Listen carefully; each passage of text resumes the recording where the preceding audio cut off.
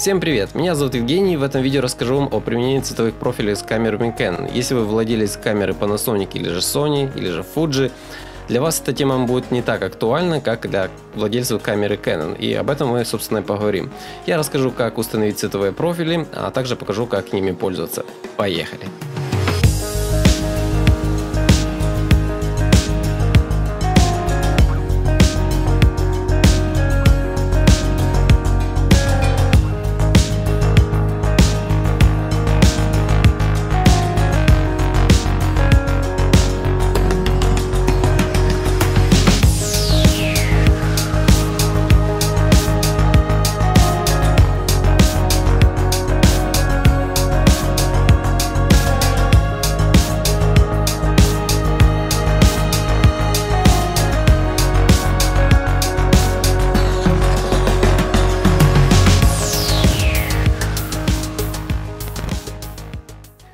Также, кто внимательно смотрит мои видео с тех времен, как я начал снимать на Canon 600D, вы заметили, как сейчас вот поменялась картинка. Это не только благодаря новой камере Canon 80D, а новому объективу это Sigma 1835 Art с постоянной диафрагмой 1.8, на которой, собственно, сейчас уже снимаю.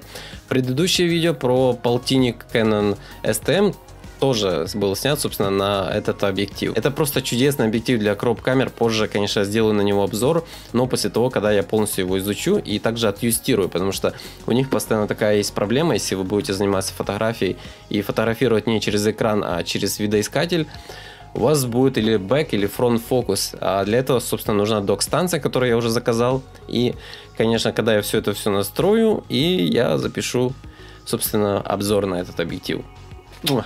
Итак, как вы знаете, я уже давно записывал видеоурок о том, как установить цветовые профили, как их использовать с камерой Canon 600D. И, в общем, я решил перезаписать уже видеоурок для 80D, но это также будет актуально для других камер. Первая и основная причина, для чего же нужно использовать цветовые профили, когда вы снимаете видео, все для того, чтобы расширить динамический диапазон. Точнее, вы не расширяете динамический диапазон вашей камеры, но при этом она больше захватывает деталей как в тенях и в цветах. Если вы, к примеру, будете использовать цветовой профиль авто, он накрутит вам автоматическую резкость, контрастность и насыщенность, которую вы, в общем, уже потом практически ничего не сможете сделать. Если у вас был пересвет в небе, вы просто убираете контрастность, раз и у вас получи, э, появились детали в небе. Или же возьмем, к примеру, тени. Если у вас что-то в тенях осталось, но при автонастройках камеры это будет незаметно.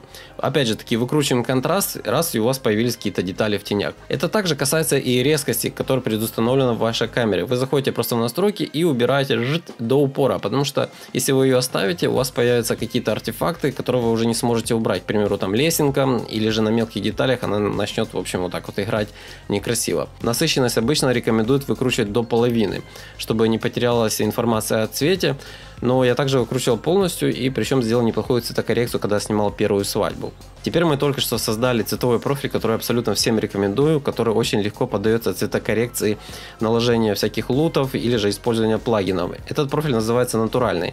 То есть вы находите у себя в цветовых профилях, там есть у вас авто, там с повышенной резкостью, пейзажный, там портретный. Э, вы просто находите натуральный и выкручиваете там полностью резкость, полностью контраст выкручиваете и насыщенность где-то до половины. При обработке в Premiere Pro я обычно ставлю резкость на 80%. Это у меня сложился вот такой стандарт после многих экспериментов. Как вы знаете, когда вы заливаете на YouTube, э, качество картинки портится и плюс он сжирает вашу резкость, причем так конкретно. Я пришел к такому выводу, в общем, я ставлю 80%, но это при том случае, если вы снимали в нейтральном профиле, если у вас был авто, там где э, искусственная резкость, контрастность, то это вам, в общем, не подходит. Но если вы снимали в нейтральном профиле или с своим профилем CineStyle или EC-Lock, вы обязательно ставьте ну, в общем, вы можете ставить какую захотите резкость, но у меня такой стандарт типа 80%, и потом пшт, и залил на YouTube.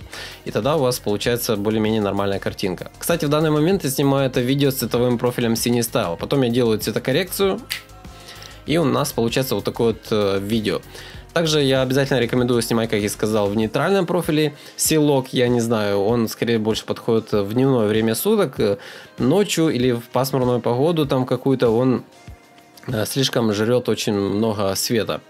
Э, то есть, возможно, кому-то он нравится, но, честно говоря, он мне только понравился, когда я цветокорил э, чисто там в солнечную погоду в днем, и тогда более-менее нормальный результат. Касательно цветового профиля Cine Style, он мне больше нравится, чем C-Log, но у него есть одна проблема, он слишком жрет именно детали в цветах, то есть вам очень сложно будет настроить э, к примеру, чтобы у вас сохранились все детали в небе, или же где у вас э, на какие-то там предметы светит яркое солнце, и э, детали бывают просто пропадают в цветах. Поэтому э, будьте просто аккуратны. Но вот э, в помещении, к примеру, вот как вот сейчас, он отлично просто подходит.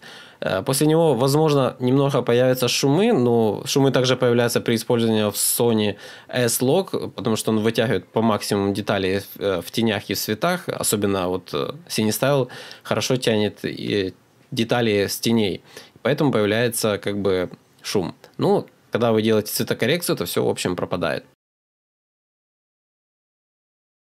Итак, первое. Для того, чтобы установить цветовые профили в вашу камеру, вам понадобится бесплатная программа EOS Utility, которую вы можете скачать с официального сайта Canon. Я оставлю ссылку в описании, чтобы вы долго не искали. После того, когда вы ее устанавливаете, там очень все просто.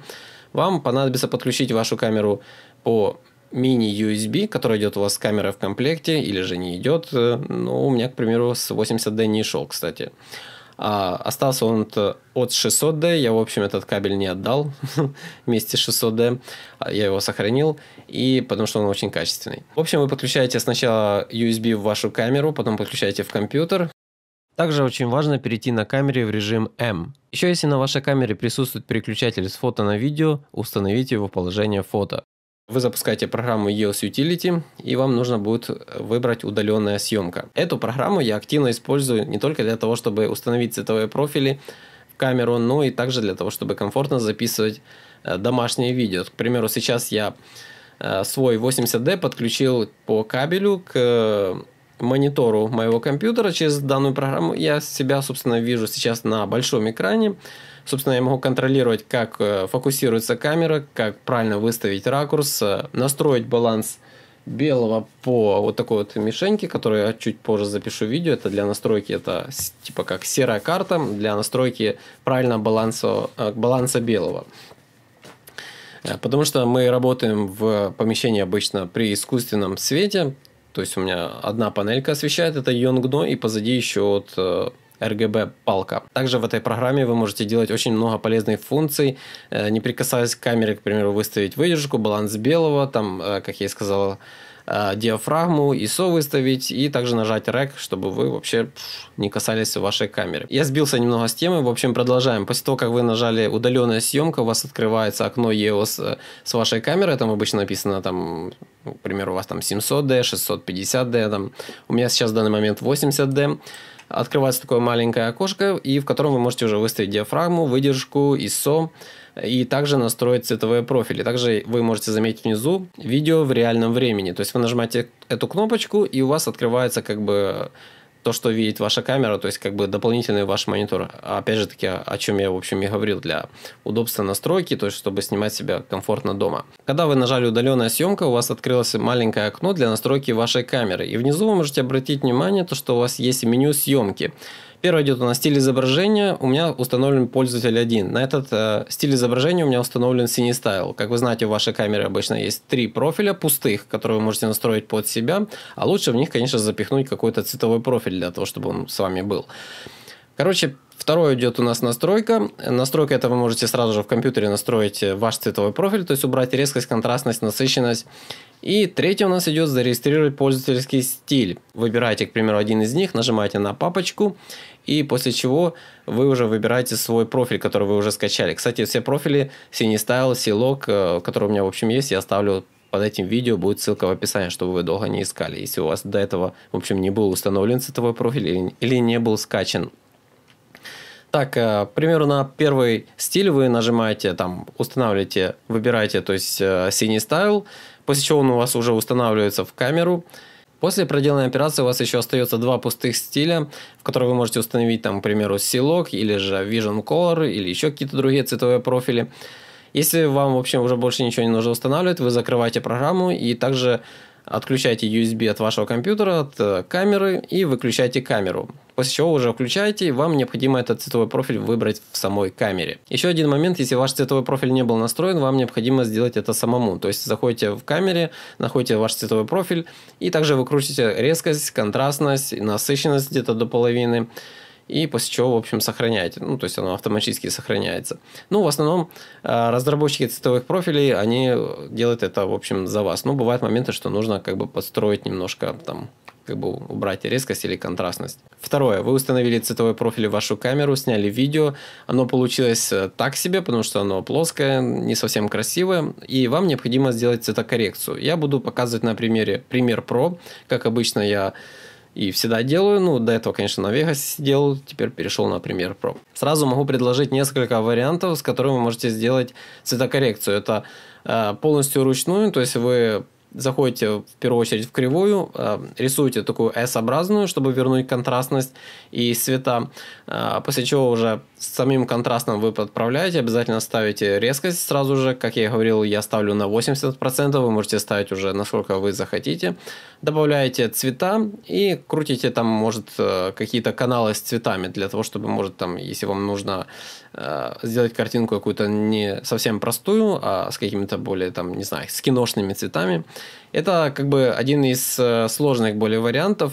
Э, самый легкий это, конечно, наложить лут. Вы где-то ищете или скачиваете луты, просто кидаете на видео, то есть э, открываете вкладку с лутами в Premiere Pro, выбираете необходимый лут, накладываете его. Также не забывайте, что вам нужно откорректировать контрастность, экспозицию, тени, ну и еще кое-какие параметры, ползунки, в общем, нам нужно будет подергать, чтобы картинка стала максимально а, интересное для вас, в общем. На этом все. Надеюсь, мое видео было вам полезным и понятным. Если это так, обязательно поддержите его лайком, подпишитесь на канал, если вы это вообще не сделали.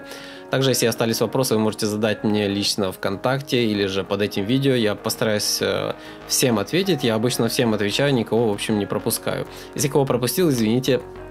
На то были, наверное, свои причины. Возможно, я где-то зашарился. В общем, подписывайтесь на канал, ставьте лайки. Всем пока. Кстати, кто еще не знал, у меня есть два инстаграма, один канала, а второй личный, где я, в общем, публикую э, о грядущих э, выпусках видео и всякие там вот интересные штучки. Так что подписывайтесь на инстаграм, я оставлю ссылку в описании.